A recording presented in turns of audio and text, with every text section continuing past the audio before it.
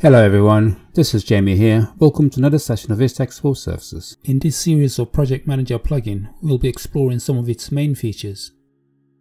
In this session, you will learn how to quickly create and edit IES lights efficiently and automatically based on your rendering engine, create and edit textures automatically and intelligently based on your rendering engine, create and align proxies intuitively and efficiently based on your rendering engine, create and reorganize virtual file systems efficiently and independently from your hard drive, create and edit materials based on your rendering engine, search and relink missing files automatically, select, move, copy, cut and paste multiple folders, and much more. So without further ado, let's start by clicking on the Project Manager button and opening it. To begin exploring some of the Project Manager's main features, let's select multiple folders in Explorer and drag and drop them into Models tab.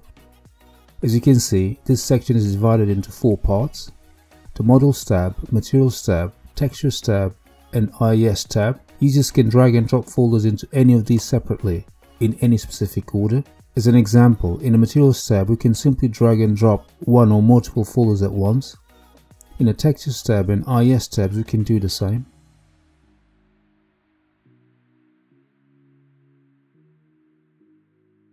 Going back to the Models tab, all these folder structures are virtual and can be organized in any specific order without affecting the way they appear on your hard drive. This feature alone is an amazing way to organize your favorite folders, messed up file structures and much more without ever interfering with your old hard drive.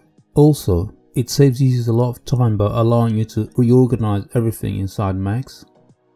To directly affect your hard drive, users need to cut, copy and paste folders or items or simply delete them by confirming in a message to delete from hard drive. To select multiple folders or items, simply hold down the control key on your keyboard and begin selecting folders one by one. Or select one item and use the shift key to select a host of them in a list. Also, while multiple folders are selected, users can right click and choose to copy, followed by right clicking and choosing to create a new folder or catalog, and pasting into it. Here, you can see all the pasted items.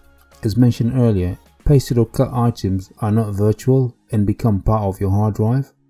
To hide specific files or folders from the list, simply select them, right click and choose to hide from the models. Users can also choose to rename, convert catalog, refresh, cut, delete from hard drive, remove from models, add to batch, render and relink, and auto assign previews. In this instance, we are going to choose the hide from models option. In hide directory dialog, we can choose hide only current, hide all or cancel.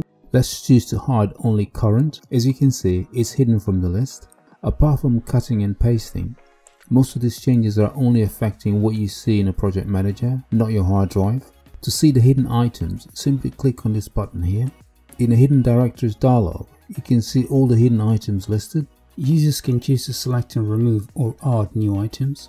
For the purpose of this exercise, let's choose to select and remove all items. To close this dialog, simply click on this button again. All hidden folders are visible again.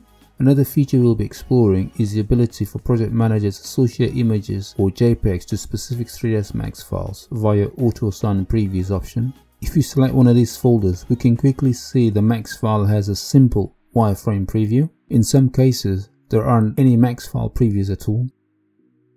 In these other separate folders, by clicking on this button, we will see the images and JPEGs with the exact same names as the 3ds Max files, which I've already renamed accordingly. Two different file types having similar names will make it easier for Project Manager to make the automatic association when the Auto Assign Previews function is applied. To use the Auto Assign Previews function with multiple folders, Let's start by selecting all the relevant folders we want to use the Auto Assign Previews function with. Next, right click and choose the Auto Assign Previews option from the list. The options dialog should be prompted.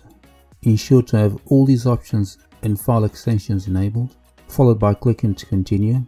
In the Auto Assign Previews dialog, under Search in Directories group, the same directory is enabled by default. First option is quick and only searches in one directory. Because you're using multiple directories, let's enable the subdirectories, parent directory, and nearest directories.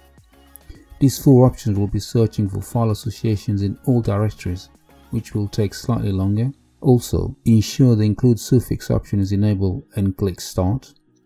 As you can see, all the file associations have been made.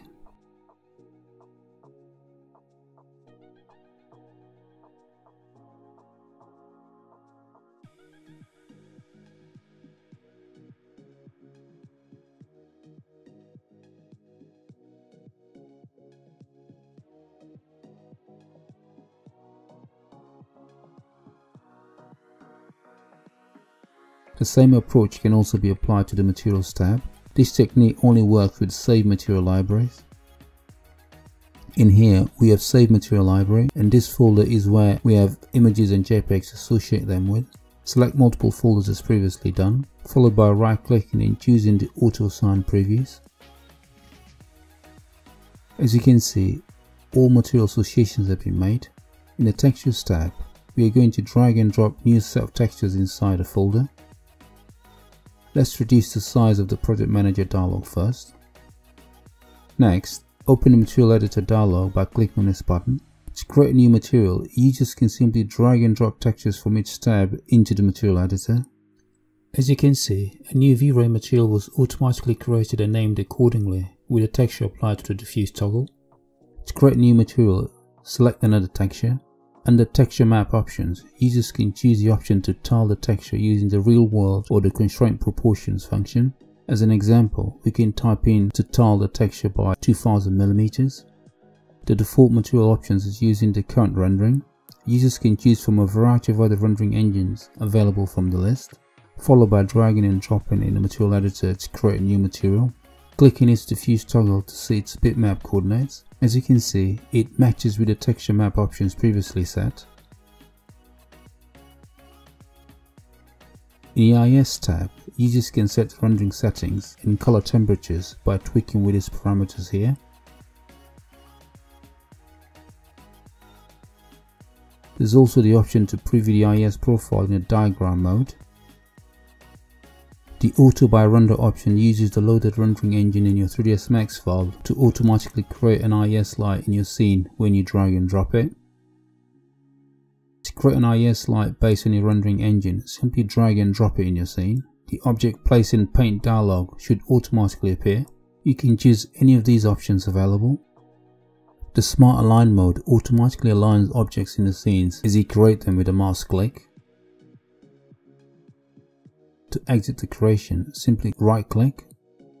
To select the lights in the scene, choose to filter the selection to lights on the main toolbar and select all the lights, followed by moving and placing them accordingly. Users can also choose to replace the selected lights.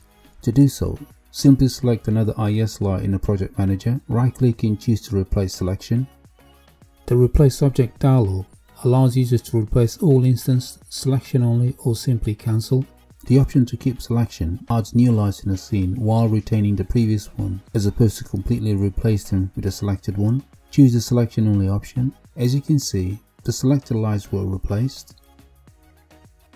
Let's scroll down the list and choose another IES light to replace the set with. The IES lights were automatically replaced again. This amazing workflow allows users to build a scene very quickly and efficiently.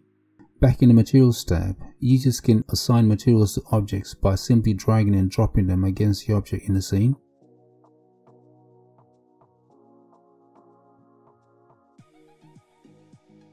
In the Models tab, users can also create objects in a similar way the IES lights were created. Before merging any object in a scene, users can choose from a variety of these options available here. In a Place group, users can choose the default home grid only, select objects or scene objects. In a clone section, keep the instance method when placing and creating objects with a mouse click. In align mode, users can choose a smart alignment or normal. When creating objects, you can choose to display them as boxes and to paint on selected objects. In exclude group, you can choose what to exclude from selected scene. Shapes, hidden, frozen objects and cameras are automatically excluded. You can uncheck these default options if desired. In the Merge Options group, the objects are set to be merged as proxies by default and to use existing proxies in a scene, if any. However, users can change these default options if desired. Drag and drop it to paint create the object in the scene. The object is automatically created in the scene with the previously set parameters.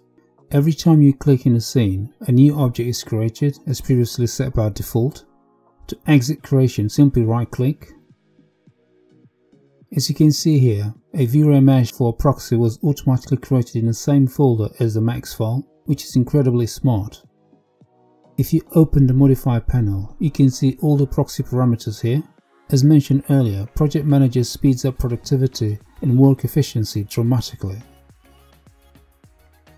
This section allows users to quickly search for files and labels by simply typing in and searching. Another amazing feature is the ability to fix any missing files and textures from a scene before merging it. To do so, simply select and right click a max file, followed by choosing the option to manage asset files, enable the missing option. In a search and relink group, you can choose from any of these options available. For the purpose of this exercise, we just want to search and relink. In a search directories group, let's enable these listed directories to ensure it finds it if available in the network. Also, enable the recursive subfolders and click to start. The recursive subfolders option might take slightly longer to search, but will definitely find them. Only use the recursive folders option if you can't find the missing files through the search and relink only. As you can see, all file statuses read OK, which means all missing files were found and automatically linked perfectly. Once happy, you can choose to apply changes and close. Also, to merge files and animation, simply select and right click, followed by choosing to merge with default 3ds Max dialog or as an X-reference scene. Users also have the ability to export to a host of listed options here. Create individual file thumbnails by choosing to automatically render and associate the rendered image with the max file and much more.